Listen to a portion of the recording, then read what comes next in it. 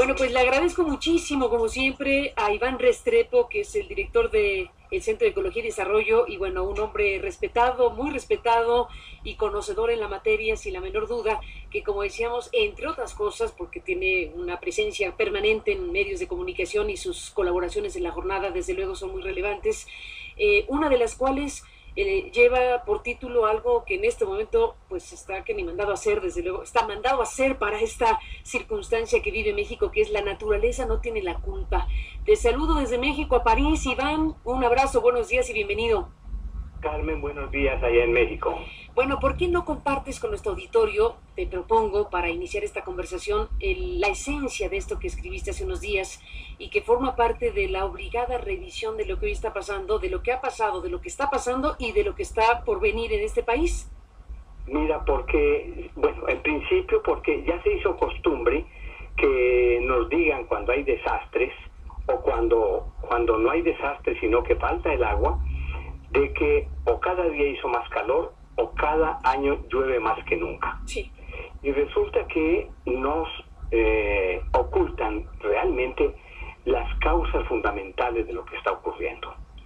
Eh, te cuento que durante 40 años un grupo de especialistas de la talla de Arturo Gómez Pompa, de Gonzalo Hafter, de José Sarucán, a través de los centros de investigación de la universidad y de los del CONACID en aquel entonces, estoy hablando de los años 70, insistíamos, Carmen, de que era fundamental detener la deforestación en el país, que esta deforestación iba a causar severos problemas, no solo porque ocasionaba la erosión de la tierra que luego iba a solvar las grandes cuencas hidrográficas, sino también porque causaría graves problemas a la población. No nos hicieron caso, se siguieron eh, tumbando cada año aproximadamente 800 mil hectáreas, entre 800 mil y un millón de hectáreas. ¿Y dónde se daba esto? En los estados que hoy tienen más problemas cada año con la deforestación. Tabasco que perdió, fíjate, perdió en 30 años millón y medio de selvas, millón y medio de selvas para meter ganadería y Tabasco cada año se inunda. Veracruz ha perdido el 60% de su sistema boscoso. Guerrero, las partes altas de Guerrero, las partes altas de Oaxaca, sobre todo las que dan a las costas. Llegan los huracanes, traen agua, como no hay ese paraguas verde que yo llamo, que son los árboles, que es la selva, el agua lava la tierra, la lleva hasta los arroyos, tapa los arroyos, tapa los pequeños ríos y el agua se desborda. Y se desborda también en las grandes cuencas, en el Grijalga, Usumacinta, en, en, en, donde más debía de haber capacidad para desfogar esta agua de manera natural, pues ya no se encuentra esta capacidad porque la tierra que viene de las partes altas le restó capacidad de conducción. Y no solo a las cuencas, sino también a las presas. Si las presas no tienen capacidad para captar parte del agua que llueve cada año, es indudable que las presas se sobresaturan y vienen las inundaciones. No nos han hecho caso, Carmen, de la verdad. Ha bajado la, la deforestación, pero no tanto por acción del gobierno, sino porque como hay cada día más migrantes en Estados Unidos que mandan dinero a sus familias, no tienen necesidad de tumbar el bosque. Y entonces esto hace que disminuya la tala. Tampoco han sido efectivas las campañas para reforestar. Son realmente un fracaso. De cada 10 árboles que se siembran, si, si dos sobreviven es mucho. Y a esto, a esto además agregues, Carmen, otro problema básico hemos olvidado una ley, las formas para organizar el territorio, para tener un desarrollo urbano y rural eficiente, armonioso. Y lo único que estamos teniendo es que las ciudades crezcan sin ningún plan director. Lo vemos, el ejemplo más claro es precisamente la cuenca de México. Pero esto se repite lo mismo en Guadalajara, en Monterrey, en Tijuana, en León, en Puebla, en Veracruz. Y claro, a estas áreas nuevas llegan los pobres. Y un pobre que no tiene en dónde construir su casa busca el lugar más accesible para él pero no el más indicado. Ahí hace su casa y cuando vienen las lluvias, los primeros que sufren los efectos de estas lluvias son precisamente ellos porque se ubicaron en áreas críticas, peligrosas y que, sin embargo, le sirven en ese momento para fincar su casa.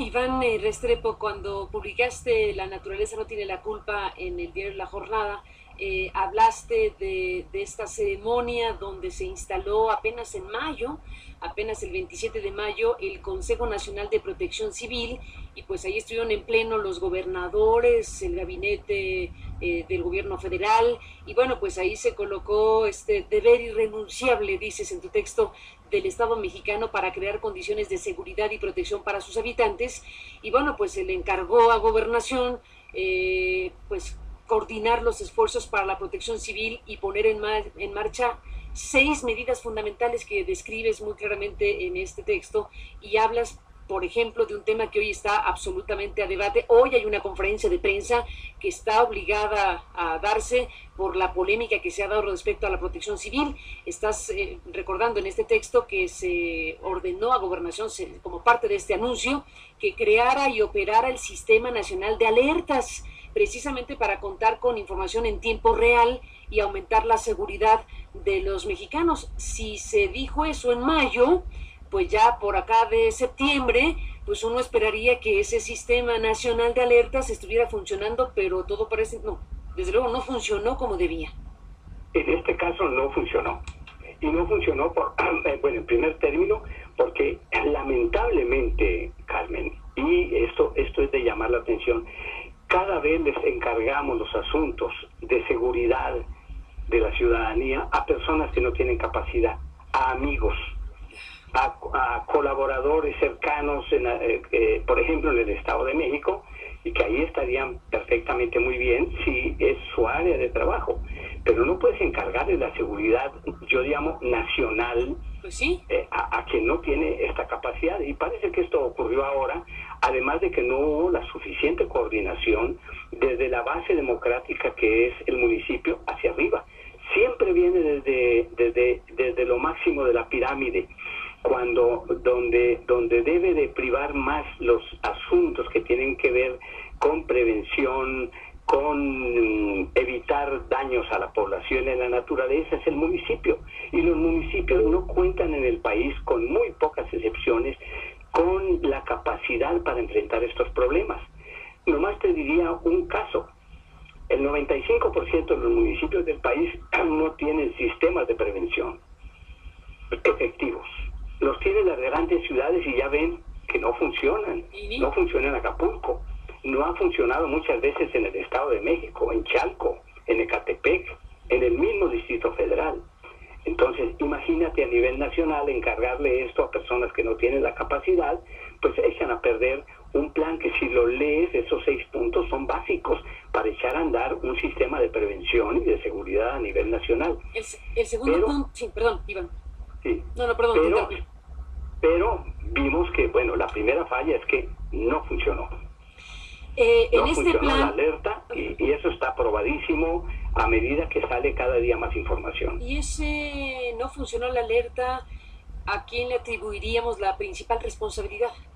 Bueno, mira, aquí siempre las responsabilidades se eluden a medida que sube. Pues sí. Entre más alto es el funcionario Más que debía de responder, más fácil se va eliminando esta responsabilidad. En cualquier otro país, en cualquier otro país donde funcionaron los sistemas democráticos, después de una pifia como esta, la renuncia de los altos funcionarios responsables de los sistemas de seguridad sería inmediata. ¿Hasta dónde llegarías, Iván? Yo llegaría a la propia Secretaría de Gobernación, que es la responsable, según el presidente Peña Nieto, de llevar adelante todas estas medidas. A ella corresponde, como lo que corresponde, como le correspondía hace 16 años, en la época de Cedillo, hoy lo digo en mi, en mi texto de la jornada uh -huh. de hoy, eh, en la época de Cedillo le correspondía al licenciado Emilio Schweifet y falló él y, fui, y falló el, el, licenciado Cervantes y por eso estaba tan molesto el presidente Cedillo cuando regresó de Europa justo hace 16 años, el 11 de octubre, para enfrentar Paulina. Tampoco en ese momento hubo quien renunciara. Después renunció Chuaifet, pero por Acteal.